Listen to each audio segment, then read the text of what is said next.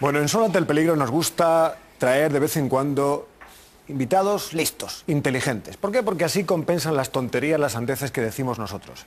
El caso de hoy es un escritor joven, brillante y que viene a presentarnos su última novela, La Pella.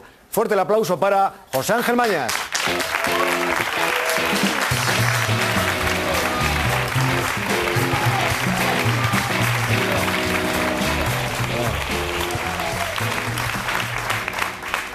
Bueno, José Ángel Mañas, que fue, si no recuerdo mal, el finalista más joven del premio Nadal, ¿es correcto? En el año 1994, con Historias del Cronen. Yo tenía 23 años, sí, era joven, lo que no sé los demás finalistas, o sea, no tengo acuerdo. ¿Cómo afecta ser finalista del Nadal con 23 años? Pues bueno, la verdad es que fue bastante sorprendente, ¿no? Fue, yo tenía un manuscrito en casa, a mí me gustaba, me parecía que estaba bien, y fue meterlo en un sobre, enviarlo, y, y bueno, pues enterarme, de hecho en Navidades yo me había ido, estaba en Francia visitando a una amiga y me enteré de que había quedado finalista por la televisión, se enteró mi padre por la televisión, me llamó allí al día siguiente de la fiesta, ¿no? entonces fue todo como muy extraño y yo siempre digo que es que no, no estaba preparado para ese éxito tan joven, fue, vino de una manera muy súbita y fue como saltarse pues, demasiados niveles de escalafón así de golpe y porrazo, ¿no? Y yo creo que desconocía muchos códigos y seguramente cometí muchas torpezas por esa razón. Así, ¿no? La finalista fue Rosa Regás. Bueno, la, la ganadora fue Rosa Regás, pero Historias del Cronen se ha convertido en una novela pues prácticamente mítica, ¿no? Todo el mundo Sí. la lee. Sí, sí, sí, bueno, fue una novela generacional que a los pocos meses ya lleva 40.000 ejemplares, luego se hizo la, la adaptación cinematográfica, La película, sí. la realizó Monchal Mendari, la produjo Jacques de Geta, salió en el 95, fue una película más taquillada de aquel año y a partir de ese momento pues se disparó y se convirtió pues en un pequeño bestseller y casi en un fenómeno social, ¿no? Social, sí, de una generación. El, el premio Nadal tiene fama de ser un poco gafe con los finalistas, pero a ti parece que no te ha afectado, ¿no? Eh, en mi caso a mí me ha ido muy bien. ido O sea, bien. yo de hecho le, le debo todo a este premio Nadal. Eh, y claro, no- no- los demás finalistas no sé qué tal les ha salido, pero vamos, es normal. en mi caso, es decir, no todos, el finalista siempre es el segundo de a bordo. Es normal que, que no funcione tan bien como el premio. Claro. Es un acompañante. Te ha ido muy bien en el mundo de la literatura, pero te ha ido también con los críticos porque has tenido ahí tus desencuentros. ¿Tú has tenido alguna vez un sueño, José Ángel Mañas, en su casa, bueno, o, o imaginando, ¿no? En un sofá con orejeras, bata, zapatillas, fumándote una pipa y sobre la chimenea las cabezas de los críticos. Pi, pi, pi. Bueno, Un poco, ¿no?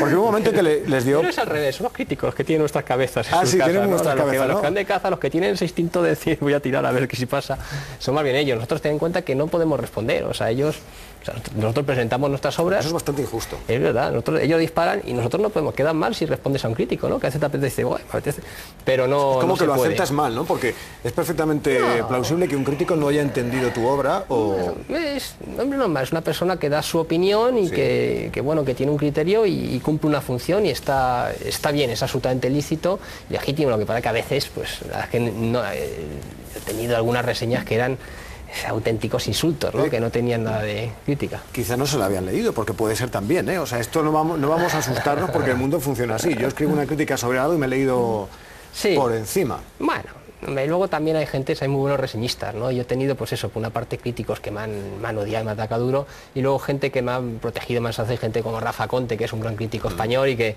y que de luego no es nada sospechoso. ¿Tú crees que sufrieron de pequeñitos los críticos? Eh, Alguno, algún inadaptado sí que hay. Yo- Supongo que alguno dirá, mira, ¿ves esta alfombra que tengo? Está hecha de piel de José Ángel Mañas. sí, sí, sí, sí. No, hombre, sí, vamos a ver, decir, si el crítico trata bien a una obra, entonces claro, el protagonista es la obra, dice que bien lo hace, no sé qué, el crítico no se ve, mientras que si machaca dice, jo, este tío, ¿quién es? Mira la que le duro metido, es, claro, efectivamente. pasa Entonces, con el mucho protagonismo pues lo, lo cobra él. Entonces, quien, quien tiene voluntad de poder, pues lógicamente se da cuenta que cuanto más sube el, el- el baremo, el nivel, más protagonismo cobra, más poder va consiguiendo sobre los demás y hay hasta una, un síndrome de Estocolmo, digo, un síndrome de victimismo en algunos escritores Sí. que de repente van a querer, dice, este crítico que es tan duro, el más duro, yo voy, o sea, quiero que me quiero que sea él quien lea mi novela, ¿no?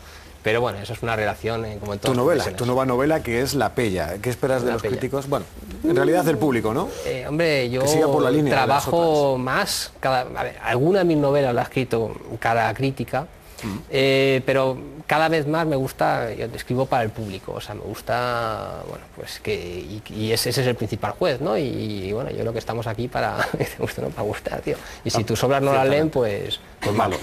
La Pella, que es la historia de Borja y Kiko, que esto nadie, que nadie piense, esto es un fin de semana de Paquirrín. No. Borja y Kiko son dos jóvenes que están un poco como Emilio Aragón en, en vivo y en directo, ¿no? Siempre detrás de la línea blanca. ¿Y a qué manchas nos vamos a encontrar en este libro? ¿A qué? ¿A qué mañas nos vamos a encontrar en ¿A este qué mañas? libro? Pues es el mañas de, de historias del Cronen. O sea, realmente La Pella es una continuación del universo Cronen. Digo que todas mis novelas prácticamente, salvo una que es histórica, están imbricadas las unas en las otras, ¿no? de tal manera que, pues, que personajes que igual aparecen como secundarios en unas reaparecen como principales en otras, como es el caso de Borja y Kiko, que ya estaban en el fondo de una de mis novelas, Ciudad Rayada, que aparecen como protagonistas, y el conjunto pues fue una especie de universo realista en continua expansión en el que voy trabajando, ¿no? y con respecto a su universo, pues La Pella es un- bueno, un- una piedra más del edificio. También aparece el Kaiser, que también es de una novela Sí, anterior. Sí, sí, efectivamente. Mm, ¿Te das cuenta de que en tus novelas hay más droga que tortazos en una película de Bud Spencer, ¿no? Así. Pero lo es que cierto muy cinematográfica. es muy. ¿verdad? O sea, que estás pensando en la película. Estamos. Es muy novelesca. Es muy novelesca. Uh, estás traicionado. Eh, tus tres primeras novelas se llevaron al cine con mucho éxito.